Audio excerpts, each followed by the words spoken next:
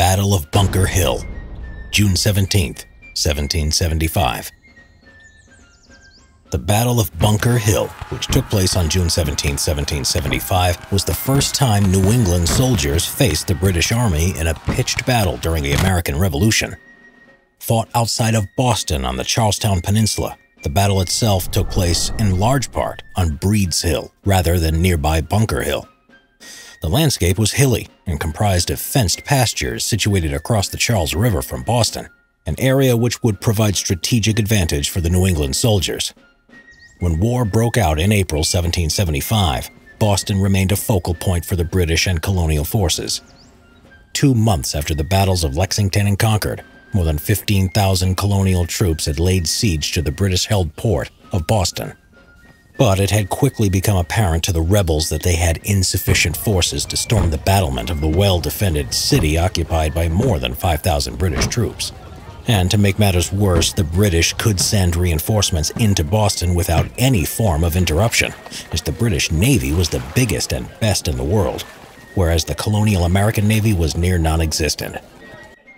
The British commander of the city, General Thomas Gage, was confident they could easily hold out until a relief force could arrive to relieve them. But to be vigilant, General Gage planned to occupy the hills around Boston in order to deny the rebels the opportunity to place artillery there therefore denying the enemy the chance to bombard both the city and the harbor into submission. By June 1775, British troops received their orders to claim the north and south of Boston, which they saw to be of significant strategic advantage. These plans were subsequently leaked, and the Massachusetts provincial government, in the hopes of gaining an upper hand, ordered a detachment of over 1,000 men to fortify both the strategically important Bunker Hill and neighboring Breed's Hill that overlooked the harbor at Boston. Owing to their strategic position from which artillery fire could penetrate the city, Breed's Hill and Bunker Hill became a stronghold for the colonial forces. Led by Colonel William Prescott, nearly 1,000 colonial militiamen fortified Breed's Hill, which was closer to Boston than Bunker Hill, where only minor defenses were built. It's unknown if Prescott ignored orders to fortify the original target of Bunker Hill or was simply ignorant of the geography there, as Bunker Hill was the better option, being higher and more defensible. The rebels worked frantically through the night, fortifying their position, hastily constructing a small temporary earthen redoubt with six-foot-high walls and at the northern part of their defenses they had even placed a stake about 100 feet in front of their line, with the orders that once any British troops moved past it, they were to open fire. With their improved position, it was the hope that the provincial forces could compel the British troops to leave and evacuate their ships. The colonists were without a real navy, and the presence of the British Navy posed a serious threat. When British Major General William Howe and Brigadier General Robert Pigott heard about the colonists' effort, they made their way toward Breed's Hill with roughly 2,300 troops. It was not until just before sunrise the next day that the British saw what was truly going on. General Gage was shocked to find a large and well-organized enemy force now controlling the high ground above Boston Harbor fighting was initiated by the British Royal Navy's 20-gun post ship, HMS Lively, and their coastal batteries consisting of 128 guns. The first assault by the British proved unsuccessful. Despite the superior naval power of the British, most of their cannon fire fell short and was therefore largely ineffective in bombarding the colonial emplacements. It had, however, managed to scare many of Prescott's men, who fled the battlefield in fear but soon it became apparent that the bombardment was having little effect and it was just wasting valuable ammunition. So next it was decided to quickly organize an attack on the colonist troops' position, fearing that they would place heavy cannons there anytime soon. After much deliberation on whether or not to attempt to starve out the enemy forces at Breed's and Bunker Hill by cutting them off from the mainland, British General Thomas Gage decided instead on a swift frontal attack. During this time, Prescott's men continued to fortify their position, expanding their fort and preparing for a frontal assault.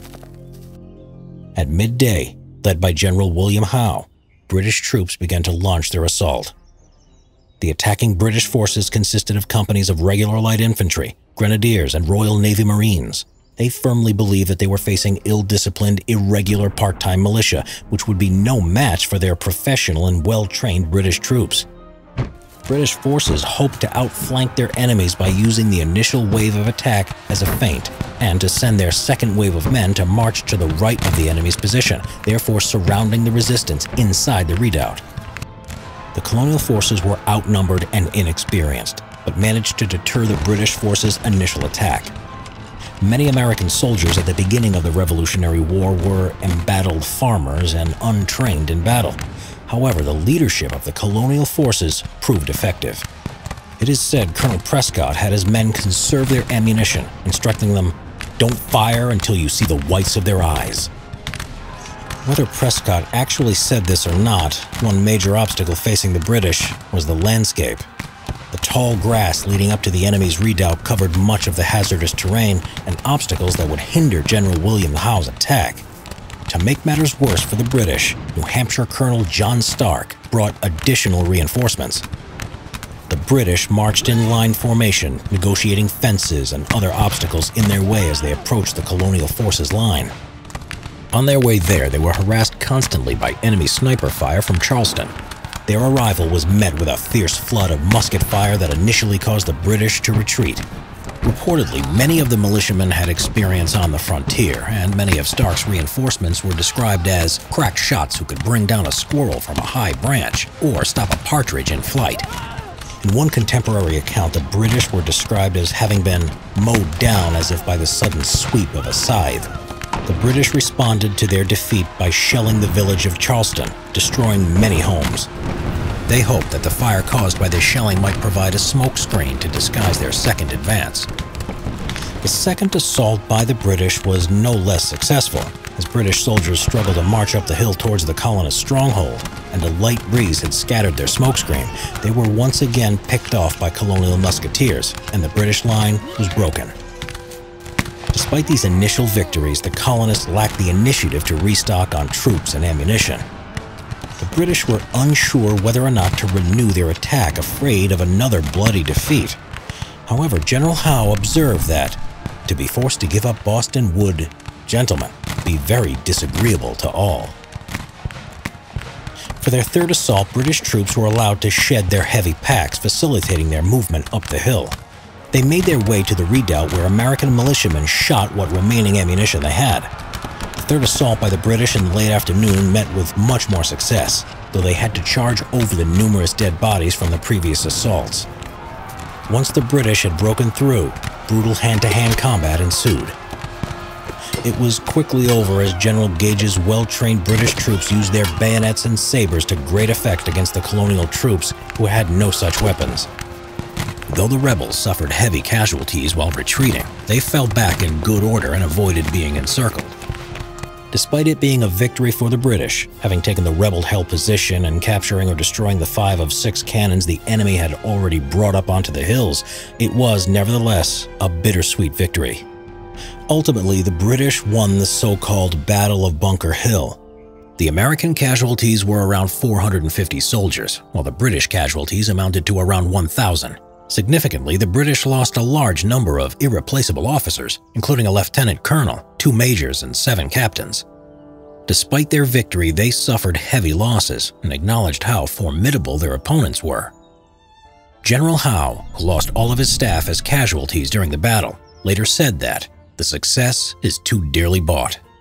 Bunker Hill, generally considered a Pyrrhic victory, an accomplishment negated by casualties and the overall toll of the battle prompted the British to change their battle tactics. These events forced the British to consider the possibility of a long drawn-out war against the American colonists. And in direct response to the Battle of Bunker Hill, the British King, George III, signed the Proclamation of Rebellion. This formally declared what the colonists were doing was treason, and that the rebellion would be suppressed by any means necessary.